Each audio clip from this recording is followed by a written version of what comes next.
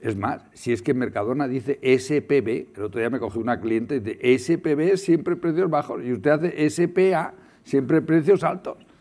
Digo, pues ya lo sé, señora. Eh, y aparte de todo, que tiene razón, que hemos subido una burrada los precios. Si tienen razón. Y claro, ¿qué es lo que hay que hacer? Es que además de... porque hay que subir? Es que hay que hacer sostenible para toda la cadena de montaje. Si nosotros no hubiéramos subido los precios, el desastre que hubiéramos generado en la cadena de producción hubiera sido impresionante. No depende de una decisión personal nuestra